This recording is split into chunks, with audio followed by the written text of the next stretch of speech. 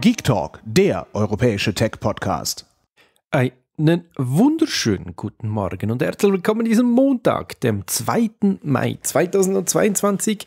Wir befinden uns also in einem neuen Monat und ihr hört die GeekDoc Daily 1190. Heute mit den Themen Huawei, Stadia, Tim Cook, Audacity, Medion und Apps. Ich starte gerade zuallererst mit Huawei, denn die haben gegen Mitte, Ende letzte Woche nochmals richtig abgeliefert. Das heißt, neue Produkte vorgestellt, aber kleines Vordings. Äh, das meiste wird vorerst zuerst mal in China auf den Markt kommen. Wir sehen dann, wann es dann in die Schweiz kommt. Vielleicht wissen wir da bald schon mehr. Genau, Huawei Mate XS 2. Das neue Foldable wurde vorgestellt und wie schon der einer, also der X, äh, die X-Version lässt sich das auch nach außen falten. Das heißt, das Display ist außen dran und lässt sich so rumfalten, dass wenn es zusammengeklappt ist, außen das Display ist und nicht innen und somit du immer die beste Kamera hast, wenn du dann da irgendwas damit machst, weil die außen dran angemächt ist.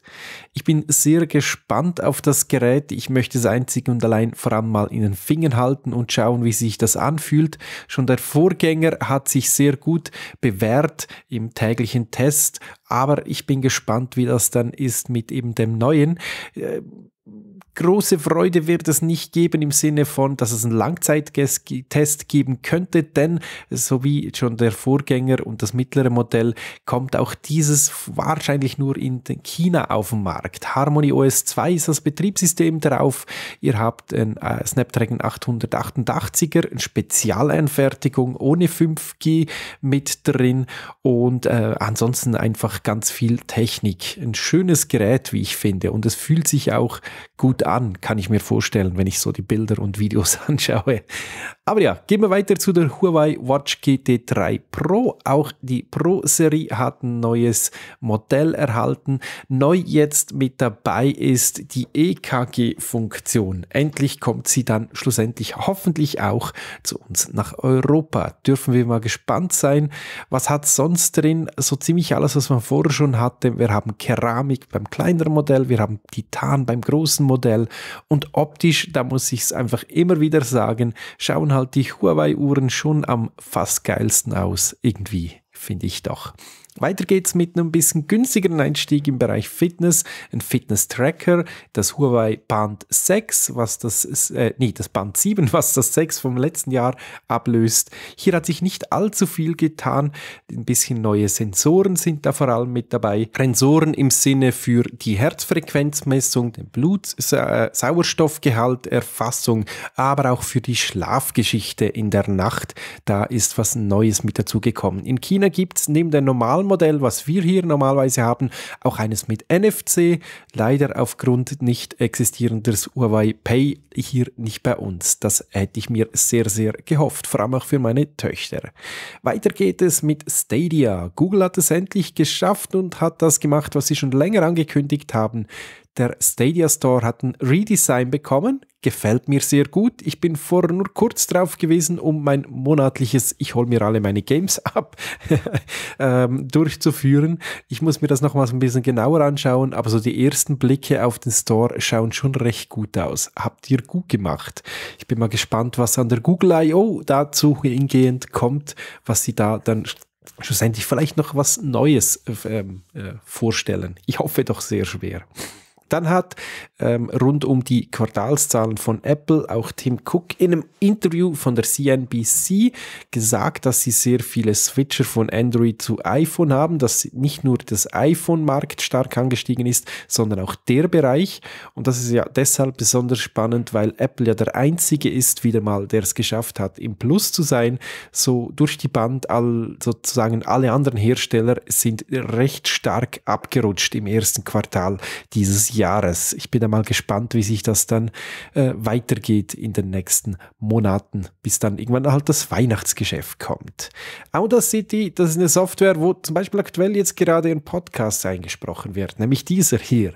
Eine Open Source Software, die richtig gut ist, die zwar einen neuen äh, Besitzer bekommen hat vor einem circa halben Jahr und es da ein bisschen Aufruhr gab, aber nach wie vor eine sehr gute und kostenlose Software für Audio-Edition.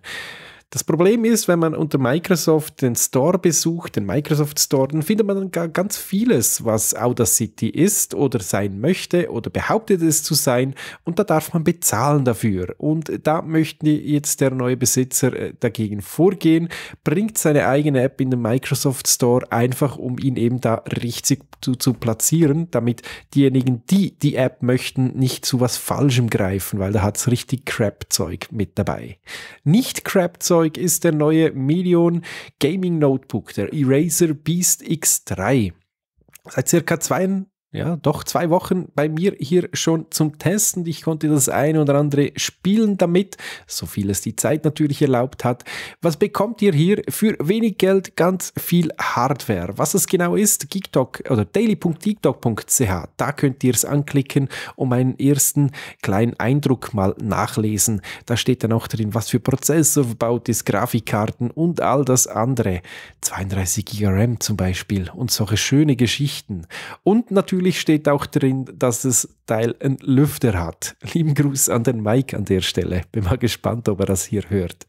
Ähm, dazu gibt es sicherlich bald noch mehr zu hören zum Notebook.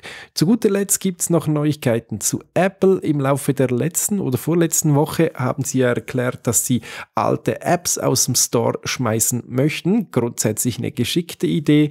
Ähm, mittlerweile hat Apple ein bisschen nicht zurückgerudert, aber den Entwicklern ein bisschen mehr Zeit als nur die 30 Tage gegeben.